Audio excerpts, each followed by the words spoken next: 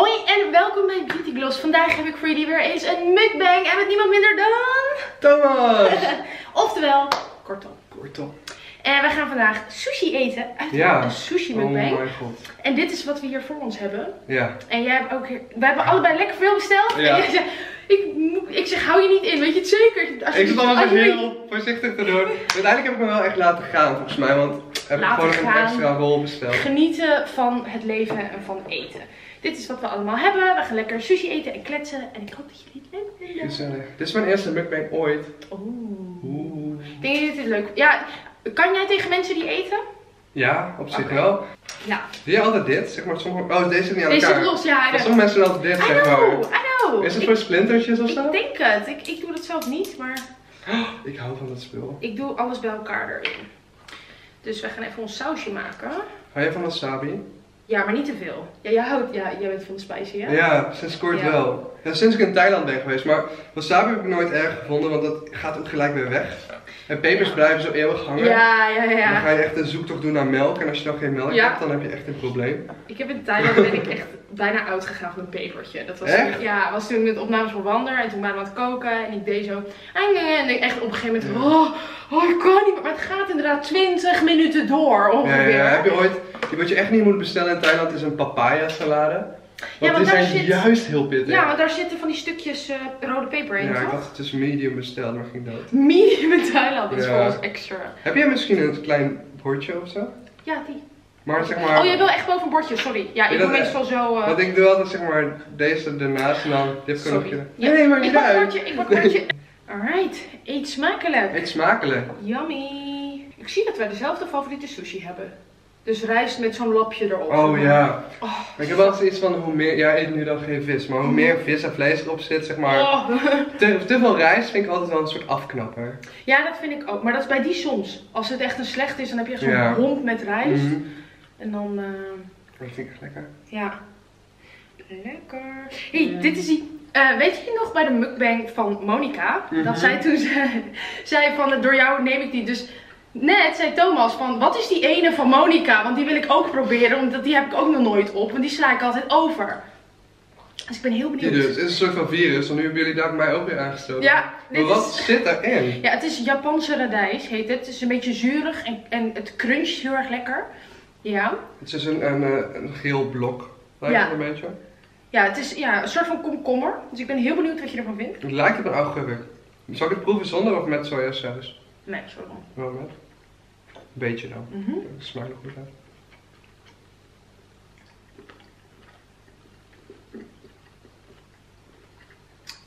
Ben benieuwd. Mm. Lekker hè? Best oké. Ja. Hm, Ja, had ik niet verwacht. een beetje um, crunchy of zo. Ja, maar wel, het lijkt heel erg op een augurk. Mhm. Maar het is, het is subtieler dan een augurk. Hm. Een soort van alsof je een hele dure augurk eet. Een hele luxe Japanse. nou. Even kijken. Daar zijn ze in Japan wel van, toch? Van die kleine dingetjes dan Ja. per stuk verpakken, heel Ja, luxe. ja, ja, ja, ja. Ja, wij gaan er dus heen eh, in april. Ja? Ik ben zo benieuwd, want ik hoorde zo... Oh, Ja, en ik hoorde dat ze daar appels hebben voor 25 euro per appel. maar Helemaal mooi verpakt. daar ga je zulke leuke vlogs maken. Je hebt Ja. toch ook van die arcade halls en Ja, zo. ja, ja, daar gaan we allemaal heen. Oh, ja, dat is echt ons ding natuurlijk. Ik vind in Amsterdam heb je ook de Ton Ton Club, Mm. dat is een soort van bar. Mhm. En in een arcadehal in één heb je soms van die hele gekke Aziatische spellen. Ben je wel eens in diegene in het Westerpark geweest? Die heeft dus twee verdiepingen en is extra groot. Mm, Die mm. is ook heel leuk. Dat is Westergas.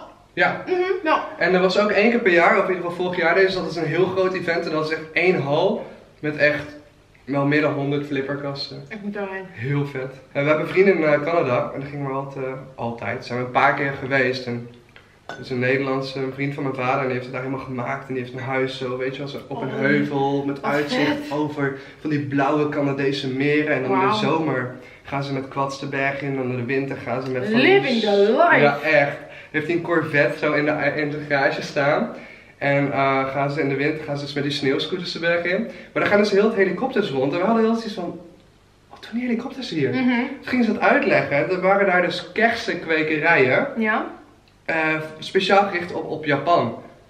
Eh, dus al die kersen gingen naar Japan toe, want Canada zit Oh. dus vrij dicht nog bij Japan. Ja. Maar wat die helikopters dus deden, die deden met die wind van die eh, propellers, ja. blaasden zij dus echt telkens naar een klein regenbuitje, gingen die helikopters de lucht in om de kersen weer droog te blazen.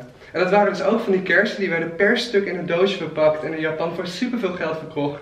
Echt crazy. Wauw. Ja, we hadden echt iets van, is dit een grap? Weet je ook hoe het heet? Want ik ga, Geen idee. ik ga naar Japan en ik ga het zoeken. Ja. Ik kan het Ik wel even navragen, want mijn vader die e-mailt dan met die vriend elke, elke week of zo. Ja, Dus vragen hoe die kersen heten. ik Ja, ben heel benieuwd. Maar die werden dus in zulke luxe, het gewoon, die werden helemaal in de watten gelegd. Gewoon Wauw. droog geblazen door helikopterwind. Ongelooflijk. Ja. Ja, ik weet wel dat toen wij in Hongkong waren, toen waren we op een gegeven moment een soort van berg op. En toen eh, was er een helikopter de hele tijd heen en weer aan het vliegen met een touw met een stuk hout eraan. Dus Ja. dan landde die, pakte die een stuk hout en dan ging die weer verder. En wij echt zo, wat is dat? en Wat toen doe je? en was het dus goedkoper om met een helikopter blokje voor blokje naar een andere bouwplaats te brengen. Oh. Dan op een vrachtwagen die dan door al die heuvels heen moest. En het was echt een soort van decadent. Welk land was dit? Hongkong was dit. Dus we hebben dit in Canada toevallig ook gezien, ja. En dan stonden er ook bordjes langs, eh, of, of er stonden ook bordjes, pas op. Hier Hm. vliegen helikopters met stukken hout die potentieel ook wel eens kunnen vallen. of Ja, maar Ik dacht dat van, is zo ah, bizar. Ja. Nou, Dat is sowieso een leuk land hoor, Canada, om naartoe te reizen. Ja. Ook met die eh, beren die je dan langs de weg gewoon ziet staan en Zo zo. Die ik van, wow, hier staat gewoon een beer. Blijf in je auto. In Canada, toen Mhm. gingen we daar kamperen altijd. Of altijd, Mm. telkens als we stopten gingen we kamperen. Comperen is wel Ik zeg echt altijd alsof ik hier elk jaar naartoe Oh. ga. dat is echt 2005 of zo geweest. Eh, denk ik, of 2007. En toen eh, moesten we altijd onze coolbox. Ja, moet je altijd dicht doen voor de Ja, beer. of in de Nou, boom hijsen. Of dus in je auto doen en goed dicht doen. Want als die beren dat ruiken. We hadden wel een keer dat we wakker werden dan van die elanden waren gewoon letterlijk ons eten van de tafel aan het eten. Oh my god. Ja, één meter van je tent af dat is echt heel... Het is, het is gevaarlijk soort van. Nou ja, eng. Mhm. Maar het is eigenlijk wel heel cool. Ik heb gehoord dat in Australië dat je dan wakker wordt dat er dan gewoon kangoeroes bij je tent staan en zo. Ja, dat heb ik ook wel eens gehoord.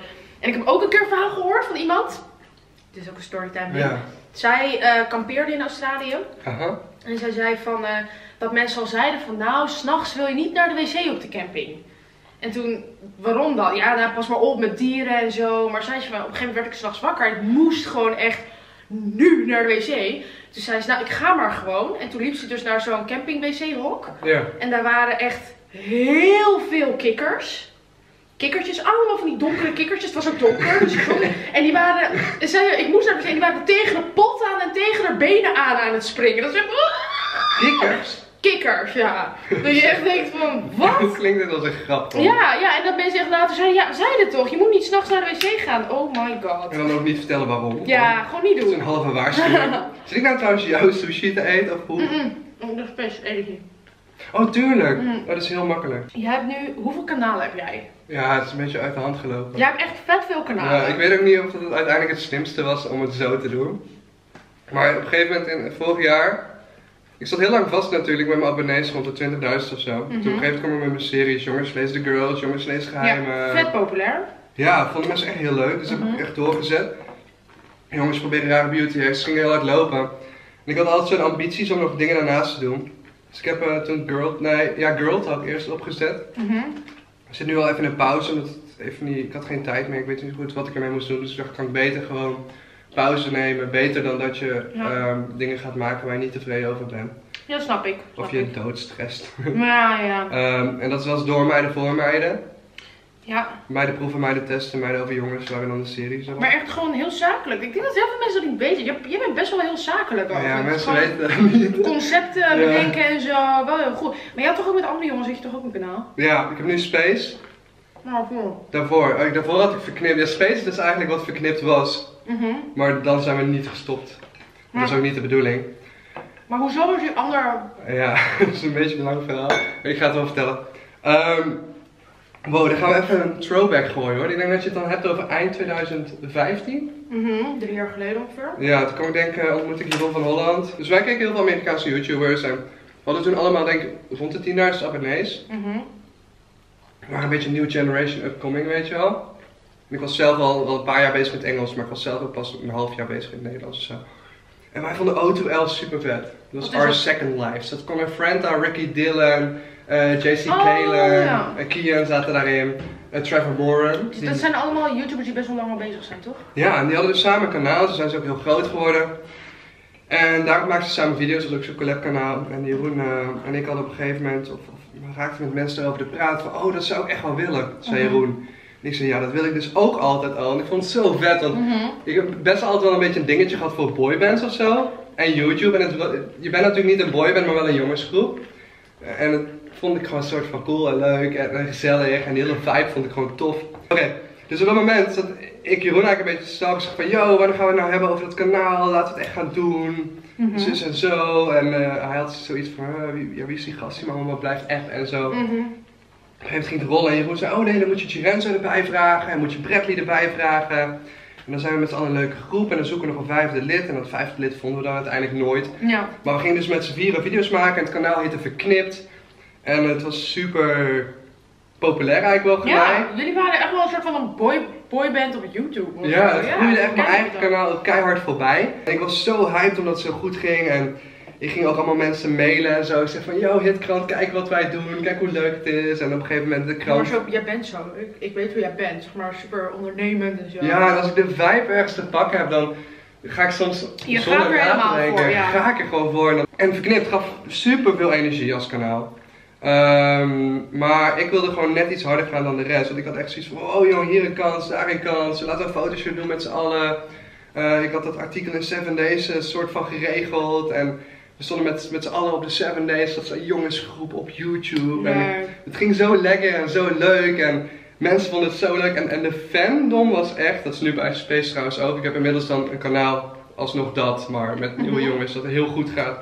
Ehm, en je merkt gewoon bij zo'n jongensgroep, de, de fans zijn gewoon extra, extra enthousiast. Ik vind het zo leuk. Dit zijn echt behind the scenes verhalen.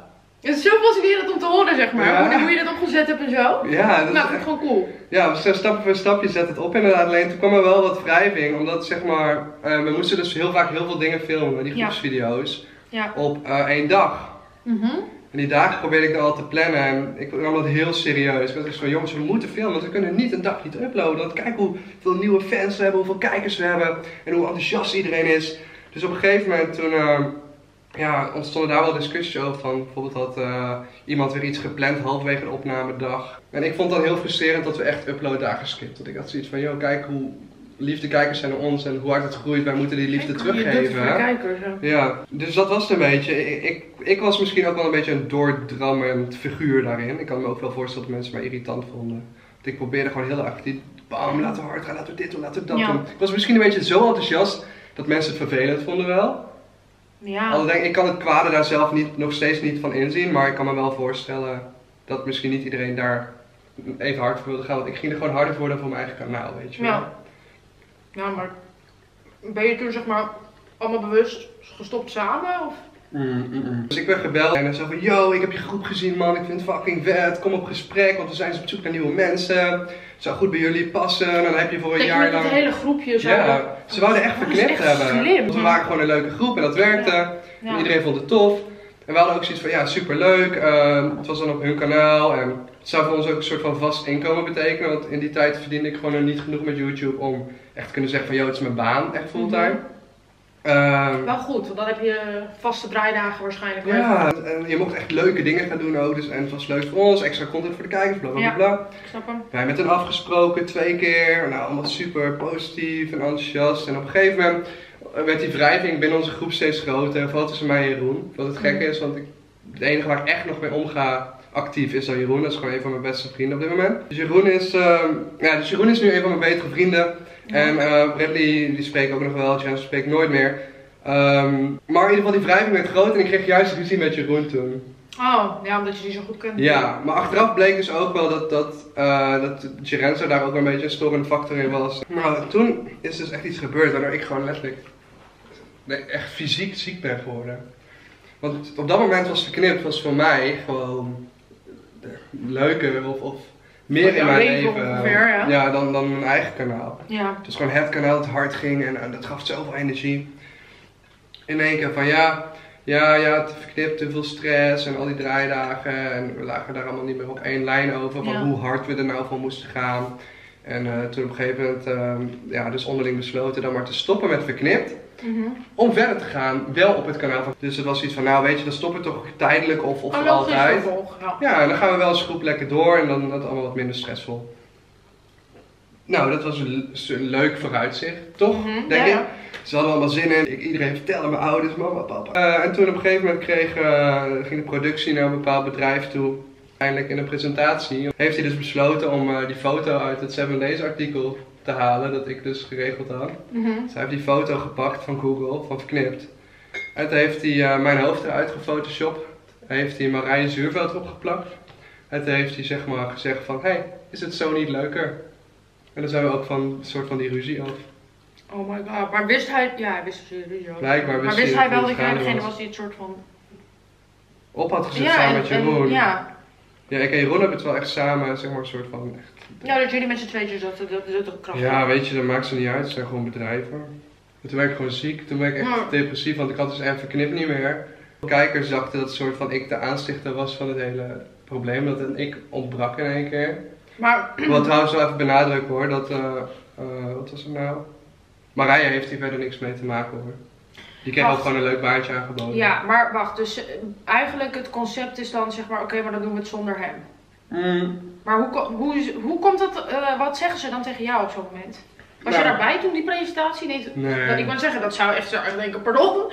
Hoorde ik echt een jaar later. Nee, het was op een gegeven moment dus gewoon, nou laten we dan maar verknipt doen, min Thomas plus Marije. Maar dan Ja. gaat je hele leven op dat moment. Gaat Mm. gewoon. Mm. Ja. Maar, Terwijl, ik kan er nu dus wel vrolijk soort van over, nou niet vrolijk, maar omdat het gewoon nu met mijn eigen kanaal heel goed gaat, kan Ja. ik een soort van daar neutraal over vertellen. Maar op dat moment was ik, werd ik gewoon, zag ik gewoon Ben je echt de positiviteit gewoon van niks meer in. Dat ik echt van, ja, je was ziek geworden. Ik ben echt depressief, echt, ja. eh, ja. Op een gegeven moment kreeg ik een darmontsteking en op een gegeven moment, ja, we wisten niet wat het was. En ik naar het ziekenhuis gegaan, dachten dat ik de ziekte van Crohn had. Ik was flauw gevallen, een paar keer op het toilet. Toen kwam het uiteindelijk gewoon aan, de dokter zegt ja, van ja, we kunnen niks vinden. En als we niks kunnen vinden, betekent dit dus dat het waarschijnlijk een reactie is van jouw lichaam op stress of, of negativiteit Mm. of depressie. En ik was gewoon mentaal was ik toen echt wel op een dieptepunt. Ja, wel echt, ja. Mm. Van elke dag was kloten. Ja. Maar meen ik ook oprecht gewoon. Ik heb sindsdien dat ook nooit meer op die manier meegemaakt. Maar ik moet wel zeggen. Ja, het is zo erg eigenlijk, hè? Maar wat vind je ervan dat zeg maar, de buitenwereld dan op dat moment... Want ik kan me voorstellen, dus Ja. dat zij dat de buitenwereld dan denkt dat het jouw schuld is. Ja. Dat, wat, wat, wat, heb je daarop gereageerd toen? Of? Nee, ik heb eigenlijk niks durven zeggen. Want ik was ook bang van als ik een soort van.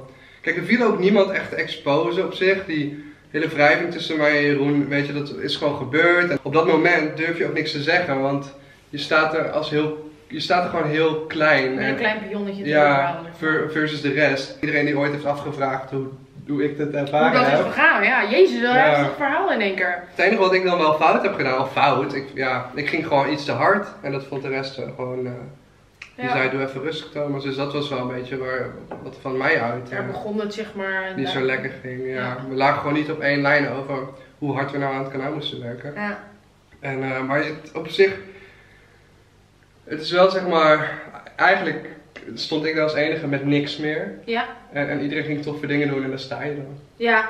En dan Ja. s- ken, ken je die eh, gezegde van eh, Kanye West van eh, succes is the best revenge? Ja. Het heeft me wel echt kracht gegeven Ja. toen om, om aan mijn eigen kanaal te werken. En toen is mijn kanaal eigenlijk gaan groeien. Ja. Dus in die zin is het voor mij uiteindelijk wel, dus heeft het een soort van positieve wending gekregen. Mhm. Maar het heeft me wel echt met twee benen op aarde gezet van wow, dit is hoe zakelijk YouTube land kan zijn en is geworden. En je kunt gewoon keihard genaaid worden Dit bij is jezelf bij staan. dit Ja, is het eigenlijk is echt showbiz. showbiz. Dit is hoe het gaat in, Ja. in achter de schermen met dat soort dingen. En ik, dat, ik denk dat kijkers dat niet per se meekrijgen. En inderdaad, misschien gaan ze zelfs andere dingen denken. Ja, Maar als het erop aankomt, ja, dit is wel een heel echt verhaal. Ja, erg hè.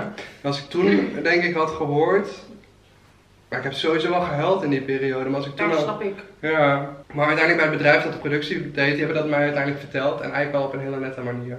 Oké. Ehm, maar die vonden het ook heel moeilijk en die mensen ken ik nog steeds en die zeggen ook van ja, dat vond ik ook helemaal niet leuk om te moeten brengen. Ik neem ze ook zeker niet kwalijk. Ik wil ook gewoon wel tegen elke YouTuber meegeven van hé, hey, Het is niet altijd... eh, Nee, zeker Het niet. kan zomaar in één keer gewoon heel hard zijn. Ja. Het is gewoon een wereld waar ook nu dan inderdaad geld en grote bedrijven zitten. En op dat moment is het gewoon niet Contracten, dat soort dingen. meer wat het was. Heftig. Maar nu heb ik Space. Ja, nu heb je de andere Met groep. eh ja. Levi, Mats en Danny. En dat wilde ik toen ook al gelijk. En ik ben ook gelijk toen in die negatieve periode op zoek gegaan naar nieuwe gasten die ik tof vond. En die letterlijk allemaal misschien duizend abonnees of minder hadden. Of misschien max 2000 Hoe heb abonnees. je hem gevonden? Ik ben gewoon gaan zoeken op YouTube. Ja, leuk. Ik ben gewoon gaan zoeken wie vind ik leuk en wie heeft een leuk karakter en wie vind ik grappig. Ja. Toen kwam ik Levi tegen. Ehm, volgens mij had hij, wat zal het zijn, 1300 abonnees of zo. Ik gok maar iets, iets tussen 1000 en 2000 of minder dan dat. Mhm. Dus van, joh, laten we chillen, kijken wat klikt. Mhm. Maar Mats en Levi en Danny klikte eigenlijk allemaal heel goed. Danny was trouwens een acteur van Nickelodeon, die heeft nooit een YouTube kanaal gehad. Mm. kwam ik tegen bij de hitkrant Hittegolf Awards. Ja. Wel leuk. Ja, ja. Ik, ik heb ook. Ik heb Fem gehad. Voor... Oh ja, dat heb je ooit verteld. Ja. Ja. Hoe is dat uiteindelijk dan eh, tot stilstand was- gekomen? Nou, dat was meer omdat iedereen het druk kreeg met zijn eigen kanaal. Dus je merkte wel dat zeg maar, het kanaal zelf ging goed. Niet, niet bijster goed, niet miljoenen views of zo. Nee, trouwens wel op maandbasis waarschijnlijk. Maar zeg maar, het, ik denk dat het iedereen in zijn carrière een beetje... eh, woep. Heeft geboost. Ja, dat is het. Als je, als je veel YouTubers bij elkaar brengt, dan kan je elkaar allemaal helpen. En, en nou, in dat geval, daar, wij deden ook inderdaad allemaal één video per week. En dat is gewoon, het is gewoon de, Ja. de tijd. Wel, het kost gewoon tijd. En op een gegeven moment eh, hadden, we, zeg maar een tweede groep eh, met meiden ook. En op een gegeven moment dachten we, nou ja, ik, het, ik- het is gewoon veel werk. Het kost veel energie, hè? het kost veel energie en Ja. iedereen groeit ervan. En eh, nou ja, op een gegeven moment stopten we ermee. We hebben nu, Prima zo. Expres ook twee groepsvideo's per week in plaats van die persoonlijke video's nog wel bij. Maar alleen die afspraak maken daarvoor. Ik vind dat altijd lastig met een groep afspreken. Heel lastig. Ja, want iedereen heeft zijn afspraken. En ja, zeker als je op een gegeven moment zelf bekender wordt, dan krijg je fotoshoots en dat soort dingen. En dat Mhm. kan je ook niet allemaal even 1, 2, 3 verschuiven. Ja. Heb jij nu meer rust in je hoofd sinds je zeg maar, je kantoor hebt opgezegd? Ja, ik ben bezig met opzeggen ervan. Ik, Oh, je hebt hem ja, nog? Ja, ja het contract liep tot, tot 1 maart. Dus ik eh, ben nu langzaam aan alles aan het wegdoen van kantoor. En eh, ik ga over op een flexplek. Dus dat, dat wordt zeg maar een ding. Maar ja, nou, kantoor is wel ook lekker hoor. Want dan kan je, je kan daar mensen ontvangen, je kan daar filmen, je kan Ja. de deur dicht doen en dan is werk voorbij. Maar ja, aan de andere Mhm. kant, je doet al zoveel thuis. En ik vind thuis filmen sowieso gezelliger. Ik ook, sowieso. veel gezelliger, in je eigen omgeving. Ja, voor mijn eigen kanaal film ik alles thuis. Mhm. Ja. Ja. en heel veel YouTubers doen dat ook als ze een kantoor hebben. Dan gaan ze toch alles thuis filmen. Ja. Het is gewoon heel verleidelijk om gewoon Mhm. nu zo lekker gezellig ja daarom. huiskamersfeer. Precies. Dus dat, eh, ja. Dus nou ja, het scheelt gewoon in de kosten. Ja, daar komt het op Mhm. neer. Ja. Maar jij kijkt toch ook Amerikaanse YouTubers? Heel erg. Ja, nou, ik kijk eigenlijk veel te weinig op dit moment. Ja? Maar ik begin nu weer een beetje, ik probeer weer een beetje dingen Wie is jouw favoriet om te kijken? David Dobrik. Ik niet. Oh my god. Wie is dat? Ah! David Dobrik? Misschien als ik een foto zie wat ik weet. Het is een vriendje van Liza Koshy.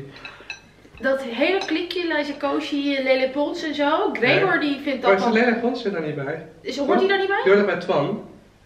Die Nederlandse jongen. Of een soort van half Nederlander. Oké, hij, hij zit in die Lele Pons scene. Die vindt hij heel grappig, die Vine scene. En dat Li- Liza Koshy, ik heb dat een beetje, ik heb die boot een beetje gemist Ja, geloof maar ik. kan nog wel inhaken hoor. Nou, David Dobrik is eigenlijk, als ik het zou moeten omschrijven naar mensen die hem nog niet kijken. Mhm. Hij uploadt, eh, het is echt zeg maar een beetje de stu- student humor, weet je wel. Oké, Echt college humor. oké, dat vind ik leuk, Dus ja. het is zeg maar echt niet voorzichtig aan met de humor. Het is echt op het randje over het randje. Oh, daar hou ik van. Ja, ja, en ja. er zijn een stuk of een aantal mensen, volgens mij wonen ze in een huis of ze zijn altijd samen in dat Ja? huis. Is dat in die Vine Street? Oh, nee. Nee? Oh. Is er een straat? Ja, er is, er is een Vine Street. En ze wonen allemaal in dat Vine appartement.